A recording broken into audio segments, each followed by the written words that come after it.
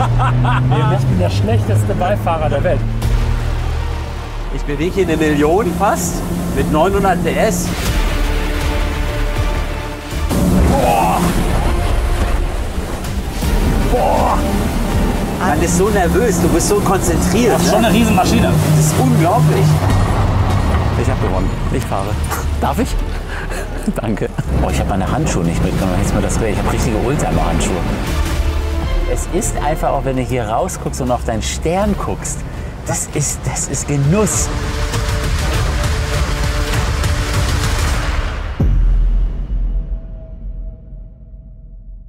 Herzlich willkommen auf meinem YouTube-Channel. Es ist wieder Sonntag und Teil 1 konntet ihr bei Konstantin unterstrich Bravos sehen. Ähm, Das war schon eine witzige Nummer, oder?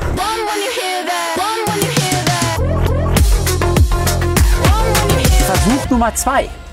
Das ist sagen. der zweite Teil der großen Mallorca-Schnitzeljagd. Wir haben Ja. so einige Teile irgendwie Wahnsinn, uns. Ne? Wahnsinn. Mallorca, was ich hier alles erlebt habe, das ist genial. Das seht ihr alles bei Konstantin auf der Vollkommen Seite. neue Verkehrsmittel. Wir blenden euch das hier auch noch mal ein, wo genau. Okay, geht, schaut euch die ersten Folgen an. Und jetzt sind wir bei Folge 2. Und zwar hast du was vorbereitet mit den Porsche. 820 PS, Brabus 820. Bravos 28 PS, 820. 950 Newtonmeter, 25 mm tiefer, Ja. 22 Zoll, 21 Zoll. Alter. Masterpiece Interieur und Kohlefaser komplett rundherum, inkontinenter Auspuff, was will man mehr?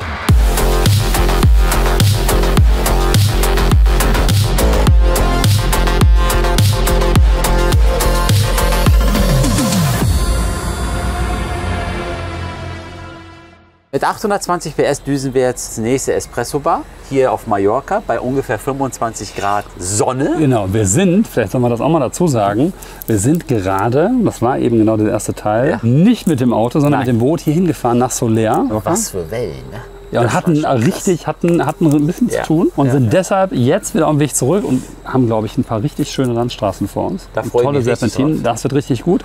So, wer wird fahren? Ich wollte ablenken davon von dieser Frage. Nee, also ich fahre natürlich gerne. Aber komm, wir machen Schnick, Schnack, Schnuck. Wird's Haben wir schon mal gemacht.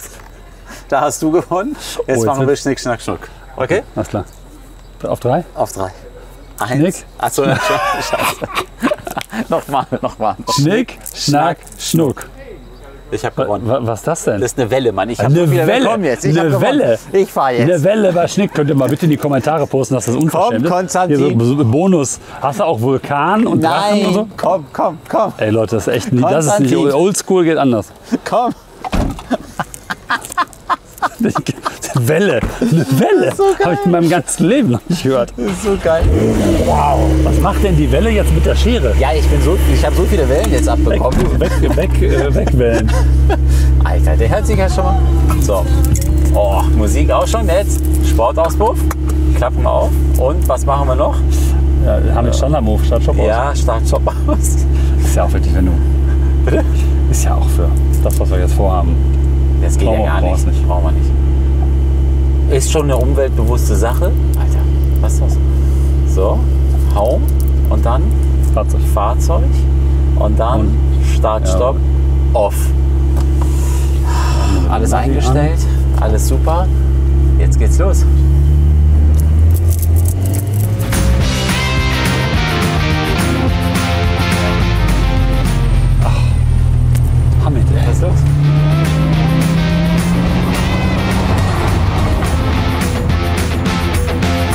Wir fahren jetzt tolle Serpentinen. Also Okay. ich sag mal so eine Strecke, wo, wo wirklich dieses Auto total hingehört. Geil. Bin echt gespannt, weil der Turbo S an sich ja schon ein Allzweckwaffe Äh, ich Du kannst das Auto im Winter durchfahren mit Winterrädern Genau. durch Allrad. Du kannst das Auto brachial schnell fahren. Du kannst das Auto aber auch total elegant und easy fahren. Und vor allem, du kannst das Auto auch so fahren, was wirtschaftlich total Sinn macht, der, Sinn, der kaum was verbraucht. Genau. Jetzt gibt es ja die Diskussion, dass du äh, die große 902-Diskussion, ne? also Ja. ob jetzt die, das Auto zu komfortabel ist. Das Ja. ist ganz interessant, dass es eigentlich diese Diskussion aus zwei Richtungen gibt. Nämlich einmal aus der Richtung, komme von Porsche-Fahrzeugen, von Ja. Sportwagen, Ja. sage, okay, das ist ein bisschen komfortabler geworden. Ja. Und da sind dann eher so die Leute zu finden, die sagen, ich hätte es gerne knackiger, Ja. noch knackiger. Ja. Und dann gibt es Menschen wie mich, die eher aus einer Richtung SL, SQP, ähm, S-Klasse kommen, Ja. GLS kommen. Ja. Also eher aus einem großen SUV oder einer Limousine. Ich Und die sagen, er ist ein bisschen näher an den SL gerückt Okay, und dadurch wird er zur Alternative zum SL. okay. Ne? Also für mich persönlich ist der letzte echte maskuline Porsche 911er Modell der 997.2, Okay. weil er sehr markant ist, Ja. weil er hier alles, es ist, so, du setzt dich rein, nicht viel Schnickschnack. Vor allem, wenn du noch PDK bei den letzten drin hast, was ja 100%, was ja genial funktioniert. Ja, absolut. Äh, dann noch als Turbo S und so weiter. Ein geniales Auto. Dann kam der auf, jetzt kommt so 992. eine Dann habe ich halt einfach echt gedacht, so okay. Aber ich habe mich auch sehr schnell dran gewöhnt. Ja. Ich werde nie so der riesen Porsche-Fan sein. Aber wie kam es auf einmal dazu? Tatsächlich, ich hatte Ein- dich als, als, Nein, als immer als, als ein Porsche-Menschen nein, abgespeichert. nein. Aber wie kommt es bei dir? Ach, hier, das Auto ist ja so tief, ne? du musst echt vorsichtig Er ist, sein. Ne? er ist, ähm, er ist ist, unglaublich. klar ein bisschen tiefer. Ja. Ich finde ihn aber genau richtig. Okay, okay. Es gibt ja Autos, die sind so tief, Ja, das dass du dann schon gar nicht. optisch auch wirklich sagst, okay, Nein, nein, da muss man dann drauf stehen. Ja. Äh, Das ist nicht mein Fall, sondern ich finde, die, die, ähm, das bisschen was kann er gebrauchen. Ja. Hamid, ey. Was ist los? Der fährt da auf die Straße. Was war der? Ich habe auf das Geräusch gewartet. achso. Ich habe auf das, das war jetzt wirklich schön. hat Angst. Das ist die Sekunde, die im Video dann auf Zeitlupe. Mann, ey, Konstantin hat Angst. Aber, aber du, du warst Nein, also du hast ganz schnell, Design. ganz, ganz schnell, du hast ganz schnell bei so einem Carbonbauteil mal, ähm, ich sag mal zwischen, zwischen, ich würde jetzt mal sagen, 3.000 und 6.000, 7.000 Euro verbrannt. Locker, ne? Ja, ja. genau, genau. Und das geht schnell. Das geht ganz, das leider, das ist natürlich so. Das ist am Ende aber auch so, wenn du eine sehr hochwertige Felge hast. Das ist aber auch so, wenn du, wenn du äh, einen, tollen Sneaker trägst und du dann genau diesen Moment kennst, wo du drauf guckst und sagst, oh nee. Ah, okay, verstehe. Ja, genau. Sag mal, Ähm, äh, erklär mir mal bitte einmal, das interessiert mich immer. Wie lange habt ihr geforscht, bis ihr dann gesagt habt, okay, äh, Design, alles und so. so jetzt Wie lange wir entwickelt haben. Ja, also äh, bis, bis, du hast ja erstmal 992 Turbo S gekauft. Du Genau. hast das erstmal deinen Designer, dann wird das Auto ja sozusagen eingescannt. Richtig. Ne? Komplett. Genau, also wir beschäftigen uns insgesamt. Aber warte mal, lass mal, wir fahren gerade durch den Tunnel. Hamid. Ihr merkt, Leute, ich bin, Konstantin! ich bin der beschissenste Bei der, ich bin der schlechteste Beifahrer der Welt. Du erinnerst dich an den Tag gestern. Also nur mal noch mal so als Recap. Ne? Ja, das ja. ist ein Kamerafahrzeug, Ich weiß, Leute. ich weiß, Wir haben also gestern schon ein, das ist ein, das Nein, ist nicht ein spoilern. Geht drauf und guckt euch das an bei Konstantins Seite. Nicht spoilern. Das Okay, ist nämlich geil. Das ist, sagen wir so, das ist ein anderes Kamerafahrzeug als gestern. Und das hat auch einen Grund. Alter, wie er hinten rausschießt. Ja, sag ich doch. Boah. Das ist ja Turbolader. Ich kenne das von den F40. Guck mal, ich gebe mal noch mal ein bisschen Gas. Und jetzt? Ist Alter. das nicht schön? Alter. Ist das nicht schön? Das ist krass. Oder? Kann ich ganzen Tag lang machen. Boah. Da Das- kannst du so das kleine Auto. Jeder, jeder, der kein Turbo-Fan ist und dieses Auto fährt, wird danach ein Turbo-Fan So, sein. genau das. Definitiv. Und du brauchst Oh Mann, das ist, das so ist so schön, dass du Das das ist- gleiche, genau die gleiche Reaktion hast, Oh, geil. wie ich, als ich das Ding das erste Mal fertig gefahren Das ist bin. unglaublich. So, So, und jetzt kommen wir zurück. Einmal so, noch. Auto wird eingescannt. Okay, warte, warte noch. für die Fahrradfahrer. Das ist einfach unverständlich. Und jeder denkt ja, bei den wirklich- F40 muss ja richtig lange ziehen, ziehen, ziehen, ziehen, Nee. ziehen und dann Gas weg. Kannst du Ja, von einer zur nächsten Ampel kannst du fünfmal machen. Ja, genau, genau. Das ist so geil. Das ist so geil. So, jetzt erzählt. Das Auto habt ihr gekauft, das Auto wurde eingescannt in dem Sinn. Ja, also du hast, du hast ein Basisfahrzeug, dann machen wir uns grundsätzlich erstmal Gedanken, was wir eigentlich wollen. Ja, okay. Und ich finde, ein 911er ist ein, eine ganz, war ganz klare Ansage damals, auch zwischen, so ein Gespräch zwischen Jörn und mir, Ja. wo wir ganz klar gesagt Jörn, haben, ein ist Jörn? 911er, Jörn ist unser, Jörn Gander ist unser CTO, Ah, okay, alles klar. dem ich äh, zum Beispiel auch bei mir auf dem Kanal immer zu jedem Produkt, gibt es auch zu, zu dem Auto hier, immer lange Tech Talks mache, wo wir wirklich im Detail dieses Auto durchgehen. Und das Wichtigste damals war ganz eindeutig, dass wir gesagt haben, wenn wir uns als Bravos mit einem 911er beschäftigen, dann müssen wir das mit einer ganzen Menge Respekt tun. Denn ein 911er ist, ich finde, so ziemlich eins der ikonischsten Designs, die die deutsche Automobil-, aber auch Designgeschichte zu bieten hat. Da brauchen wir gar nicht drüber reden. Da kannst du jetzt nicht, Ja, ja, ja. also ein Auto darfst du nicht in irgendeiner verunstalten. Ja, genau, genau. ähm, sondern du kannst also die Frage zu stellen, wie Bravo-sizen wir das, also wie veredeln wir das so, dass, wie wir es uns vorstellen Mhm. und wie interpretieren wir das Fahrzeug so, dass es dem entspricht, was, was auch eine Bravos-Wiedererkennung Ja. hat. Ja. Das war ein bisschen, ein bisschen Diskussion. Am Ende habe ich gesagt, Leute, ich möchte, dass wir mit einem, mit einem 911er-Programm, also ein Bravos-Programm für den 911, Ja. dezent und geschmackvoll auftreten. Ja. Denn am Ende, wenn du dir die Bravos-Kundengruppe anschaust, sind das 95 Prozent internationale oder, oder also erfolgreiche, wie auch immer, national, international erfolgreiche Geschäftsleute. So, die haben natürlich alle keine Lust, am Restaurant vorzufahren, irgendwo mit dem Auto gesehen zu werden Klar. und dann den Vogel gezeigt zu bekommen. Ja, klar. Haben auch alle gerne Lust, was Geschmackloses zu fahren. Ja. So, und das, dieses Thema Respekt vor dem 911er Ja. plus richtigen Transfer Ja. äh, des typischen Bravos-Designs hat dann zu dem geführt, was wir jetzt hier heute vor uns haben. Okay. Oder was wir jetzt fahren. Na, Also Okay. heißt dezentes Kohlefaser vorne rum, Mhm. sehr technischen Inhalt äh, mit, einer, mit Inconel, eine Abgasanlage hinten, also tolles, tolles neues Material, 3D-gedruck, 3D-gedruckte Auspuffblenden. Okay. Finde Okay. ich sehr, sehr spannend. Also sofort, Okay. Mhm. wenn du dir das Design anschaust, siehst du, das geht nicht anders als im 3D-Druck. Mhm. Und es sieht gut aus.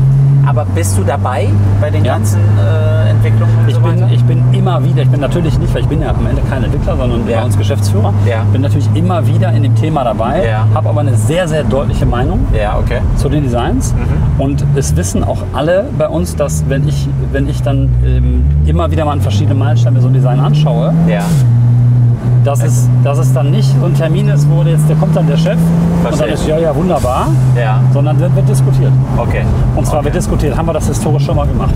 Aus welchem Material machen wir das? Was ist hier der technische Anspruch? Okay. Ähm, wie gehen wir mit dem Basisfahrzeug um, was Ja. wir, was wir äh, nehmen?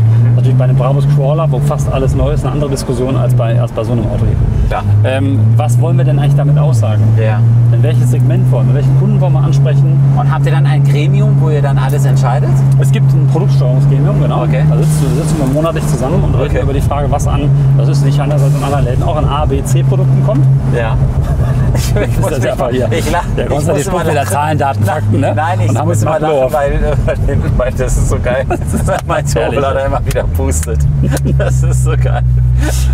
Und, Das Auto macht so Spaß. Ich höre dir die ganze Zeit zu, aber ja, das aber Auto muss da ein macht bisschen Auto fahren. so Spaß und das ist eine geile Strecke. Wir haben super Temperaturen, 22 Grad, Sonne, die Reifentemperatur haben wir schon lange erreicht. Es ist zwar ziemlich voll, weil auch viele Fahrradfahrer jetzt hier hochfahren. Ja, müssen auch äh, ja. man muss vorsichtig sein, gar keine Frage. Ab wie viele Autos so viel forschen und äh, gucken, testen und so weiter, natürlich auch vom TÜV alles abnehmen lassen. Alles, was an diesem Fahrzeug gemacht wurde, ist auch abgenommen vom TÜV. Natürlich, klar. Ja, das ist ja auch nochmal eine ganz große Also Nummer. deshalb ja auch, man nimmt mal zum Beispiel die 820 PS, 915 Newtonmeter. Ja, Äh, Es gibt immer wieder Leute, die nicht nur beim 911er sagen, kannst du mir nicht 1500 PS da reinbauen. ja, Kannst du mir da nicht eine Jet-Turbine dran bauen, kannst du nicht da machen, dass das Ding fliegt. ja, verstehe. Ich finde, by the way, das Ding fliegt schon ziemlich hier. Wahnsinn jetzt. So, ja. aber natürlich können wir das. Aber nicht so, dass du es auf einer deutschen Straße legal fahren darfst. Nicht so, dass der TÜV da einen Haken drunter macht. Nicht so, dass du es weltweit verschicken kannst. Ja. Nicht so, dass du in, zum Beispiel in einem heißeren Land mehr als zehn Kurven damit fährst und es immer noch funktioniert. Ah, okay, verstehe. Nicht so, dass ich dir Garantie geben kann. Also alle diese Dinge müssen ja in so ein Paket einfließen. aber ist muss genauso wie beim Hersteller? Testet ihr dann so ein Auto auch mal in Dubai 50 Grad im Sommer aus? Du, wir waren jetzt gerade, also bevor ich hier hingekommen bin, Ibiza, in ja. Ibiza gewesen. Ja, Und das, dieses Auto war da auf, einem, auf der Rennstrecke okay.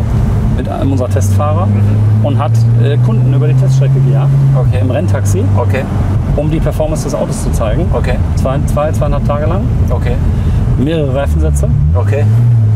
und wir sitzen jetzt drin und es fährt. Und ich habe mich gefreut, das zu sehen, Ja, weil du dann weißt, ob es funktioniert. Und es war wärmer als heute okay. und dann danach weißt du, ob so ein Ding funktioniert. Ja, das klar, muss so ein der Auto Rennstrecke aushalten. mit einem Rennfahrer auf jeden Fall, ja. ja, ja. Ne? Also das, das war jetzt, aber natürlich testen wir das. Wir machen ganz normale, ähm, ganz, also im- immer unterschiedlich dem Produkt angepasst, ganz normale Dauerläufe. Egal, ob es ein Auto ist, ob es ein Boot ist, da musst du dann andere Tests machen. Boot auf der Landstraße ist. So, jetzt, so jetzt, haben wir, jetzt hast du den 820er rausgebracht. Wird es auch von dem Porsche so eine Art Rocket geben? Hast du was geplant? Ist Ähm, irgendwas im Anlauf? Wie, äh, mal 1000 anders, ich PS drehe ich oder? dreh, ich dreh es mal um. Wie würdest du denn einen Bravos Rocket auf so einer Basis, wie, wie sieht er aus? Das ist eine total spannende Frage. Absolut, absolut. Das ist eine richtig spannende Frage. Ich finde, ihr habt hier genau die Nuancen gesetzt, die man richtig setzen kann, um das Auto nicht zu verunstalten. Okay, das ist das Einzige. Aber bei Rocket bedeutet der immer heftigst Widebody-Kit. Ja, da muss schon ein bisschen mehr passieren. Da muss schon mehr passieren, genau.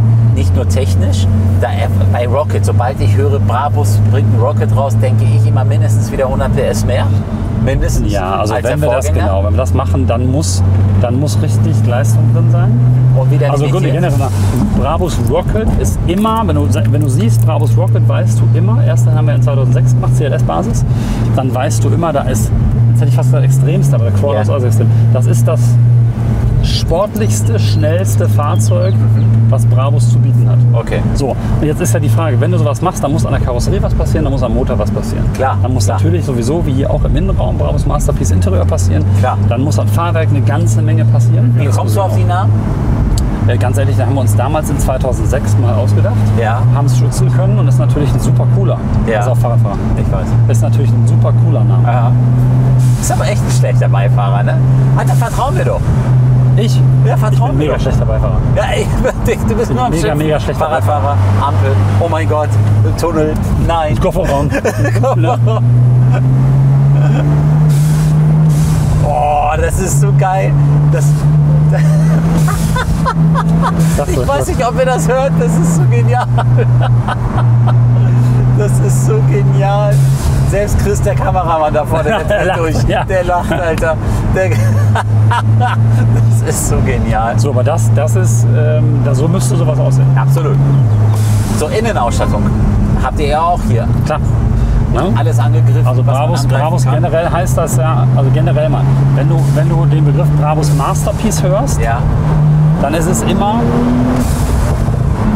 ja. mach's nicht fertig, ey. Leute, der macht nicht fertig. Der macht nicht so fertig. geil. ich muss gleich, ich, wir wollen jetzt zur Espresso-Bar. Ich muss gleich erstmal an Ey, den Tropf. ich habe ich hab heute nur fünf gehabt. Ich muss deinen Espresso haben. ja, so fährst du auch. Oh, Richtig. schön geil. auf dem Boot, schon anderthalb Meter Welle weggerockt. Dennis kriegt wieder ein grünes Gesicht. Die Details hier drin und so weiter. Bist du auch dabei oder lässt du da deine Designer freien Lauf? Äh, ja, also ja, Äh, ich bin dabei und ich bin nicht dabei. Lass mich erklären, wie es funktioniert. Also, wenn du den Begriff hörst, Brabus Masterpiece, Ja. das ist ein Label, das wir uns ganz bewusst vor, vor drei Jahren eingeführt haben. Wo, äh, ist ein Begriff, der dir immer sagt, da ist alles drin, Ja. was wir können. Okay, So, das ist die, sozusagen die Abkürzung. Okay. Full Option, Brabus Masterpiece. okay, verstehe. Ähm, das siehst du immer, auch wenn du draußen ähm, zum Beispiel auf einer G-Klasse hast ein Label drauf, innen mit Carbon ausgelegt und außen mit so einem farbigen Rand. Genau, genau. Farbiger Rand bei einem Brabus heißt Lässt euch mal ein. gefährlich. Ach so. Farbiger Rand bei Brabus ist alles drin. Alles klar, okay. Das ist nicht günstig. Okay. Aber es ist full, full, full Option. Okay, okay. So, das ist jetzt hier auch so. Wir haben Karosserie dran, wir haben Fahrwerk, wir haben Räder, wir haben äh, Leistung, wir haben Interieur.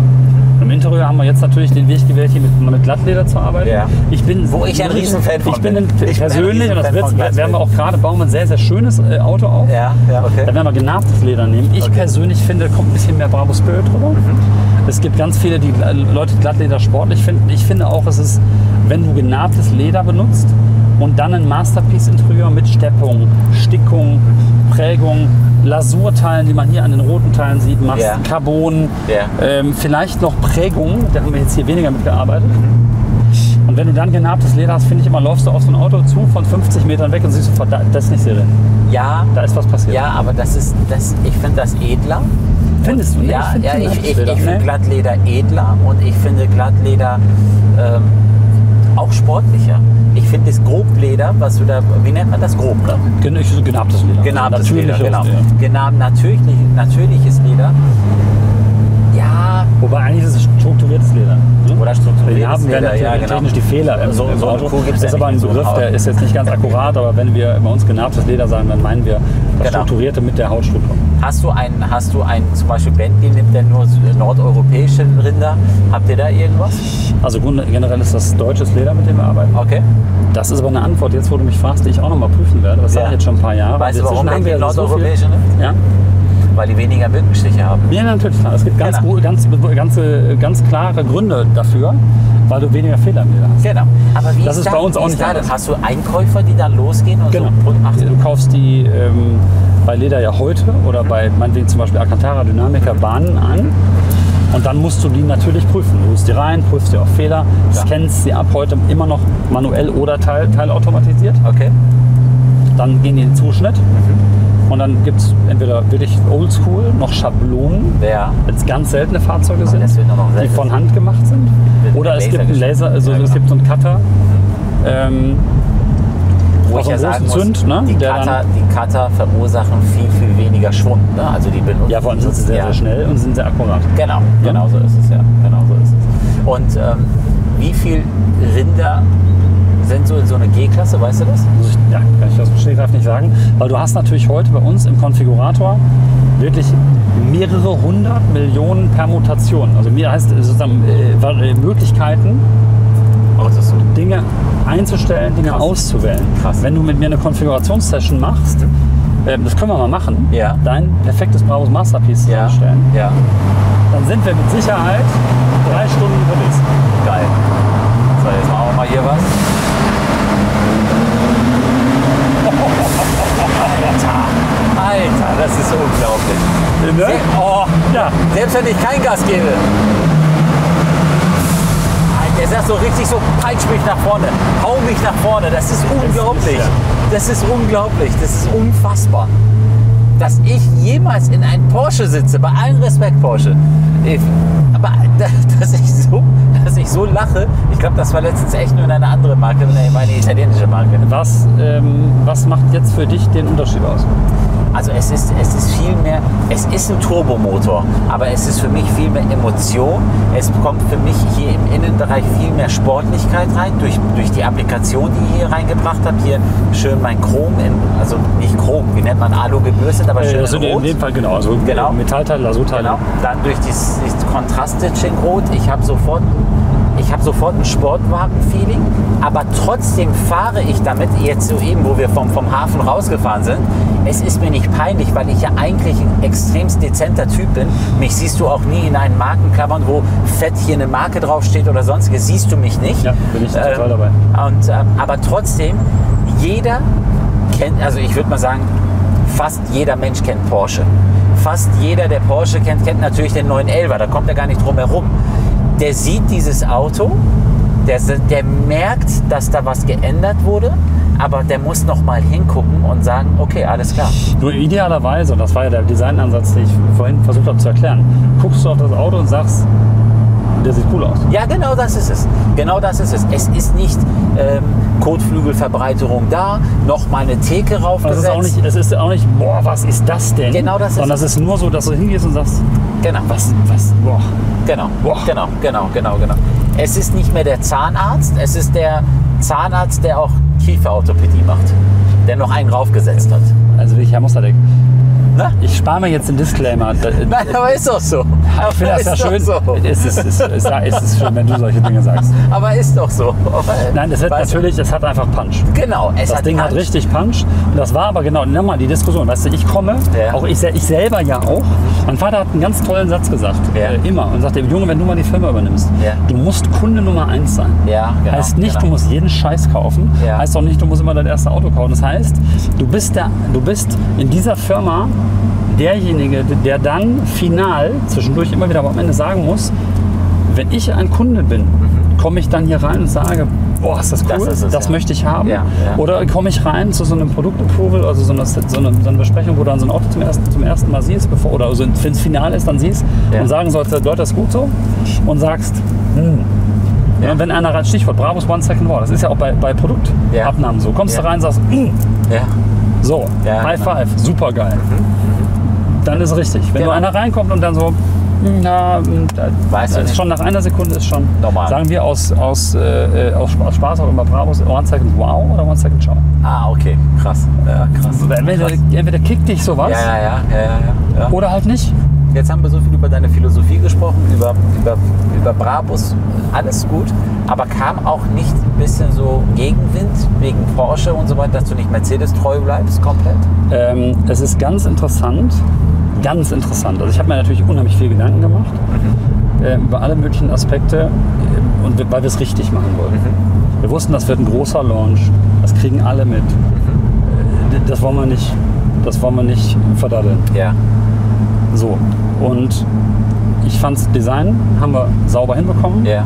Das äh, Video zum Beispiel haben wir sauber hinbekommen, haben das Auto auf Sylt gefilmt, haben es eben nicht aggressiv auf der Rennstrecke, sonst Ja. auf Sylt. Ja. Und es hat, äh, so war so, einmal hat ein Mann, ist ein Mann gefahren und haben die getauscht, ist seine Frau gefahren. Ah, okay. Also das ist ein 911er. Das ist, ähm, das sind elegantes Autos, gehört in ein elegantes Umfeld. Das musst du nicht immer nur auf der Rennstrecke prügeln. Wir als Bravos kommen ja auch immer aus dem Thema Luxus, Okay. Eleganz Ja. und haben dann mal ein aggressiveres Produkt. G900 Rocket Edition. Aerodiscs auf dem GT63 Rocket, solche. Das sind dann eher die aggressiveren Produkte, aber das normale Bravos-Produkt wird immer, wird immer ein, ein, das Wo Ziel haben, sehr wo siehst du die auszusehen. Tendenz hin? Meinst du, wird irgendwann mal Porsche so stark wie Mercedes bei dir? Das ist eine gute Frage. Also Aber Also du wir ja- werden ja natürlich, irgendwas wir werden uns natürlich weiterhin mit dem Thema jetzt auch beschäftigen. Ja. Aber lass mich das kurz, kurz zu Ende erzählen. Also Ja. du, dann machst du dann so eine Launch und ich, ich habe natürlich, du hast ja mehrere Zielgruppen. Wie reagiert eine Porsche Community? Ähm, zum Beispiel und wie re- reagiert unser Stammkunde, der jetzt den dritten, vierten, fünften Mercedes-basierte Bravo Supercar bei uns kauft. Ähm, interessanterweise haben, das kann man sich bei uns übrigens, gibt es ja, gibt's ja sozusagen auf YouTube Bravo Signature Night. Unsere Modenschau für letztes Jahr die erste, erste Fashion Show für Autos gemacht, weil ich mich immer gefragt habe, macht das keiner? Auto musst du meiner Meinung nach bewegen präsentieren. Ja. Das muss an dir vorbeifahren. Ja. Und als letztes Highlight kam eben das Bravos-Programm für den 911er, also Bravos 820 und Bravos 700 based on Rolls-Royce Ghost. Ich war total gespannt. Ich war mega gespannt und heute haben wir viele bei der 1300R, dem Motorrad, auch mal gesagt, ja ist ja klar, ist ja Bravos, muss ich ja verkaufen. Nee, Leute. 0,0. Vor jedem neuen Release in einer neuen Produktkategorie sitze ich da und bin, jetzt ist die Positivformulierung, bin total gespannt. Okay. Oder bin scheiße nervös, weil du hast so viel Arbeit, so viel Liebe in dieses Thema gesteckt. Klar. Du machst dir Gedanken Klar. ohne Ende. Klar. Da hängt das Team dran. Deine Jungs haben richtig Gas gegeben. So, und jetzt willst du auch, dass es gut ankommt. Klar. Und manchmal willst du es aber nicht tun. Ja, ja, klar. So. klar. Du steckst ja Und es gab in dem Moment äh, gab es wirklich spontanen äh, Applaus. ja, cool. Ähm, und der hat total gut getan. Schön. Weil da klar war, da waren Händler, da waren Kunden. Ja. Und das hat sich danach auch wieder gespiegelt. Ähm, es ist keiner der Kunden hat es negativ aufgenommen. Wir, wir bauen ja auch, keiner der Händler hat es negativ aufgenommen, wir bauen ja auch keinen Mercedes weniger um. Ja, verstehe. Nur weil wir auch Verstehe. noch zusätzlich Ja, verstehe. uns mit einem 911er beschäftigen. Verstehe. Und gleichzeitig haben wir ja auch ein Programm für den Taycan vorgestellt. Okay. Also okay. auch da, also, also die Frage ist, was wäre gewesen, wenn? Also was wäre Ja. gewesen, wenn es halt lächerlich ausgesehen hätte? Jetzt kommen wir was mal wäre mal gewesen, wenn das Design einfach verpasst hättest? Jetzt kommen wir mal noch zurück auf diesem Fahrzeug. Also es ist, ich muss sagen, auch innen hier mit dem Carbon, das gibt es ja auch nicht original vom Porsche, also so, so strukturiert. Ne? Ähm, es ist mega cool gemacht. Es ist mega cool gemacht. Äh, wir reden gleich beim schönen Tasse Espresso noch mal über Preis. Und vielleicht sind da ja ein paar, ein paar Leute, wir setzen uns mal hin, du trinkst dein Americano, ich trinke mein Espresso und dann würde ich Hashtag unsere Diskussion der letzten drei Tage schon, ne? Immer. Herr Buschmann trinkt einen Americano, ich trinke immer Espresso. Das Also es ist immer die gleiche. Ne? Es ist immer, ich habe witzigerweise, viele Grüße an den lieben Max, äh, meinen besten Freund. Diese Konversation läuft nämlich, Max, willst du einen Kaffee? Ich trinke keinen Kaffee. Das machen wir seit 20 Jahren. Ja, genau. Und die Konversation mit Hamid ist immer, immer Conti, willst du einen Espresso? Und ich antworte immer nur mit Americano. Ja, genau, genau.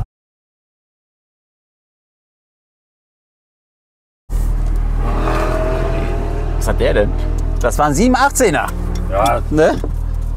Es ist echt so, ne? Man ist immer hier, sucht hier mal einen Knopf. Ne? Das ist echt so. der normale Mercedes-Fahrer Das ist unglaublich. So, jetzt sind wir da. Wir haben 820 PS sauber und gesund hierher gebracht. Ich muss euch eine Sache sagen. Schaut euch die Bilder genau an. Also Konstantin als Beifahrer ist nicht einfach. Also er hat immer so, so gebremst und Handbremse gezogen. Aber da war nichts, da war nichts zu ziehen. Warum habe ich das Gefühl, dass er das eh zusammenstellt wird? Das ist so Zeitlupe anschauen. Das ist so geil. Konstantin, erstmal vielen Dank, dass wir fahren konnten. So, Absolut. jetzt kommen wir mal ein bisschen zu detailliert mal im Außenbereich. Jetzt habt ihr euch im Innenbereich alles angeschaut und vor allem habt ihr euch diesen Motor angehört, der ja brachial ist. Der Porsche Turbo S steht Hat jetzt nicht. gestern einer geklaut, ne? Was? Warte, ich zeig dir. Ja, den Motor. Ach so, der Motor ist weg. Ach, warte mal. Dafür haben wir eine Brabus-Tasche drin. Ach, so. Alter, ich dachte, was meint der denn, was geklaut worden ist? Nein, Quatsch. Nein, ist alles da. So, jetzt kommen wir mal zu den Preisen. Das Auto hat ja einen Basispreis so als Turbo S wäre er ungefähr bei 220. 20 ungefähr. 220. Ähm, man, man sagt ja immer ein Turbo S, wenn du den gut ausstattest und so weiter mit ein bisschen Rabatt hin und her, bist du so bei inklusive Steuer bei eine Viertelmillion Euro. Aber jetzt kommt's. Jetzt kommt's. Es wäre ja langweilig. Okay? Jetzt hat der Konstantin einfach gesagt, ich pack mal hier circa 140.000 Euro rauf. Und jetzt habt ihr Was Zeit mal auszurechnen, wie viel Dacia das das, Nach das der sind. Fahrt gerade, Alter, lieber Hamid, weißt du ja, was drinsteckt. Ich muss ja sagen, es, ist ja, es hat ja nichts mehr mit Veredeln oder Tuning zu tun. Wir gehen mal das Ganze durch. Alleine, wenn ich mal eine Carbon, es ist nicht nur eine Carbon-Lippe, was raufgeklebt ist. Es sind auch hier die Lufteinlässe perfekt mit Carbon verarbeitet. Ne? Das ist einfach so. Du, du stehst da wie so ein. Und, nein, nein, und ich, ich, ich will die Frage stellen, ob wir wir haben ja vorhin über Design und Philosophie gesprochen. Mhm. Ich finde, es steht dem Auto gut. Ja, das ist ja das, was ich ja auch im Auto angesprochen habe. Ich bin nicht der Typ, der mit solchen fetten Marken rumläuft oder sonstiges. Das ist ein Auto, was ich jederzeit fahren würde. Ob ich einen Porsche jemals fahre, weiß ich nicht, aber würde, weil jeder, der einen Porsche kennt, jeder, der einen 911er kennt, jeder, der das Auto kennt, guckt hin und sagt, da ist eine Änderung. Aber nicht so, Genau. wie manch anderer. Es muss am Ende, muss es immer noch wie aus einem Guss wirken. Es muss gutes Produktdesign sein. Es darf nicht dran geflanscht aussehen. So, dann gehen wir mal Das hier wird's lang. doch kaputt machen. Dann haben wir die schönen Felgen. Genau. Echt 21 verdammt und schöne vor allem Felgen. auch 22 Zoll. Also vorne 21, Ja. hinten 22 Zoll. Dann geht es weiter. Im Seitenbereich habt ihr nur hier die Flip, also was heißt nur, aber hier die Flips draufgesetzt. genau. Genau. Das habt ihr nicht als Carbon gemacht. Hat das einen Grund? Nee, aber in dem Fall einfach Aus lackiert. optischen Gründen. In Okay. Mhm. dem Fall einfach lackiert. Äh, Es kann durchaus sein, dass wir jetzt, ich baue, wie gesagt, gerade deshalb auch spannendes Auto, blau, blau äh, schwarz. Ah, okay. Oder schwarz mit blau. Ähm, ja, Okay. Und dann haben wir hier hinten dezent, mega dezent, eine schöne Carbon, also Carbon-Spoiler in dem Sinne. Liegt ungefähr bei genau. 6 Mille, ne? richtig. Und auch da wieder, ich bin kein, ich persönlich bin kein Fan von riesigen Spoilern. Mhm. Das ist Geschmackssache, jeder hat seinen eigenen, das ist auch vollkommen okay. Ich mag Autos, die wie aus einem Guss wirken und die keine riesen pommes Okay. hinten haben. So, Deshalb und dann? auch eher ein Turbomensch als, ein, als zum Beispiel ein GT3 S. Absolut. So für 6000 Euro ist schon okay. Ja, kann er ja auch gebrauchen. Ist aber ein super, ist auch sehr, sehr schön verarbeitet. Und dann haben wir einen Heckdiffusor, der es in sich hat. Und wir waren natürlich auch damit im Windtunnel. Ja. Ne? Was habt ihr? Wir waren natürlich damit im Windtunnel. Ach so, Beispiel, okay, Wo du gerade okay. Mhm. über den, den, den Heckspoiler sprichst. Und haben das aerodynamisch auch getestet. Okay, perfekt. Ja gut, das sind, das sind halt die Nuancen. Da kommen auch diese ca. 140.000 Euro Aufpreis zu. 140.000 Euro ist schon in Hamburg sogar schon eine Eigentumswohnung. Jetzt zwar nicht in Eppendorf oder Winterhude, sondern aber trotzdem Hamburger Raum, 140.000 Euro, kriegst schon ein Zimmerchen. Da kannst du den Turbo S holen und in Das Hamburg ist ein Zimmerchen holen. Aber Ist ist so. natürlich, wenn immer, wenn du die, das ist ja die spannende Frage, wenn du Qualität als obersten Maßstab anlegst und die Frage stellst, was geht, dann landest du eben bei Werkstoffen wie zum Beispiel Kohlefaser. Dann landest du bei Werkstoffen wie zum Beispiel dem Inconel, der hier unten im Auspuff ist. Ein 3D gedruckte Inconel. Äh, Also du meinst das hier oder was? Genau. Ne, das, ist, das ist jetzt, Kommst finde ich, ich finde ein spannendes technisches Feature, Feature an dem Auto. Das ist 3D Endrohr- gedruckt? Die End, das ist Muster, was du innen siehst. Ach so, das da ne, drin. Das ah, kannst okay. du nicht anders darstellen als im 3D. Krass. Das ist Wahnsinn.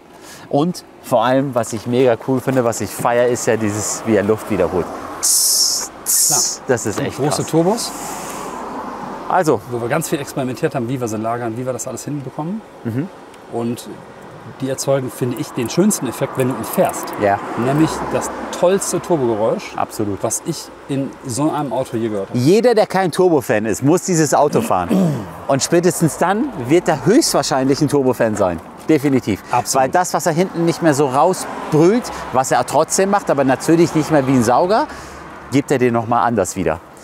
Ich hoffe, der Beitrag hat euch gefallen und bitte, bitte, bitte, bitte tut mir einen Gefallen und geht auf Folge 1, guckt euch das an, das ist witzig. Und demnächst kommt auch noch Wir Folge haben eine 3. Menge- wir haben eine Menge Spaß Genau, gehabt. wir haben richtig Spaß gehabt. Vielen Dank nochmal dafür. Sehr, sehr gerne. Und jetzt gehen wir einen Espresso trinken. Amerikaner. Herr Buschmann Americano, ich Oder wie Espresso, im Ruhrgebiet auch sagen, geht mir auch alles auf den Keks, Leute. Eine Tasse Kaffee. eine Tasse Kaffee. Einfach eine Tasse Kaffee. Und ich brauche nur einen Espresso. So. So, fährst du jetzt zurück? Klar. Komm, alles klar, ab geht's.